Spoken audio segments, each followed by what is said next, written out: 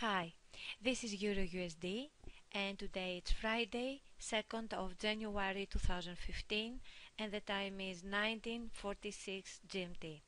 I'm Sofia Stavropoulou and this is a video signal for Forex ID Academy members, FXholics Forex Signals apps users and WhatsApp Signals subscribers. I'm looking at the M30 time frame of the pair because uh, the new year brought a huge fall to the pair.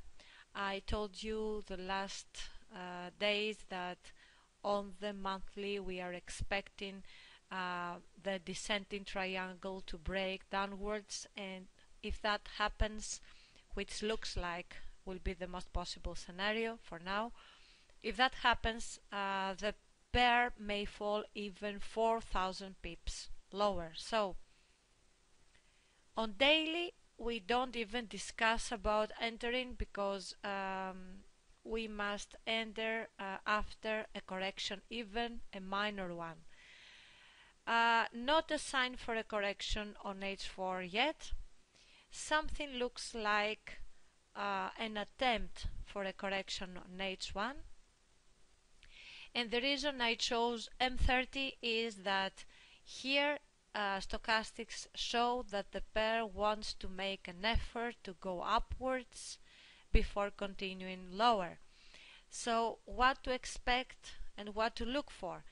You look for ideally for um, the pair to make an upward move all the way to the median Bollinger Band, create, uh, form a swing high above the median Bollinger Band, and then fall, continue its fall from there. Uh, if that happens, that would be ideal. So patiently wait to see how high the pair could go for now. Um, if you have a bullish price Tenkan-Sen cross and then the pair approaches the median Bollinger Band, even goes a bit above it, you wait patiently and you will enter after a bearish price Tenkan-Sen cross happens on M30. The bearish price Tenkan-Sen cross means that the price, the candlestick, the a bearish, a big body bearish candlestick will, will cross and close below Tenkan-Sen, the red line of its Ichimoku Kinko Hyo, and Tenkan-Sen will be curved or angled downwards. That's a valid bearish price Tenkan-Sen cross. So you want to see a bullish price Tenkan-Sen cross and then a bearish price Tenkan-Sen cross will trigger your short entry. You will sell. If that happens, you will sell and you place your stop loss a few pips above Kijun-Sen, the blue line of Ichimoku Kinko Hyo.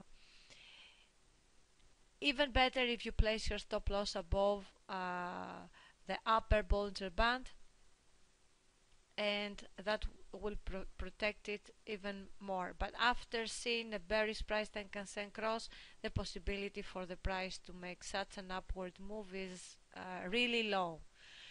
Um, now, if the price does not make a bullish price Tenkan-Sen cross, if it doesn't have the strength to do that, like it didn't have the strength here or here, go for uh, if the price touches the Tenkan-Sen, and then makes a big body bearish candlestick enter short there if you see something like the like what we saw here.